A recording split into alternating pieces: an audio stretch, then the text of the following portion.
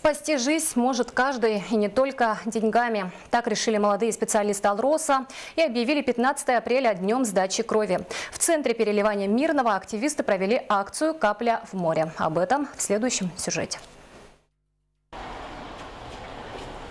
Дмитрий уже не первый раз сдает кровь. Считает это своим долгом, ведь в любой момент кому-то может понадобиться помощь.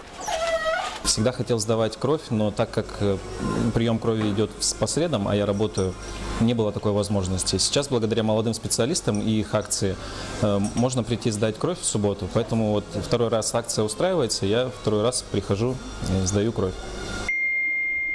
Часто на телефон приходит смс-сообщение о срочном поиске доноров для конкретного больного. Кто-то на это не обращает внимания, считает это очередной спам а кто-то с охотой дарит надежду неизвестным людям. Мы, объединение молодых специалистов, решили помочь, помочь нуждающимся и решили провести данную акцию. Благотворительную акцию молодых специалистов акционерная компания «Алроса» поддержали. Желающих поделиться своей кровью набралось около 30 человек. Взамен благодарность медиков и, самое главное, чья-то спасенная жизнь. В настоящее время э, служба крови Миринского района является межрегиональным центром крови. Мы обслуживаем э, другие районы центральных больниц.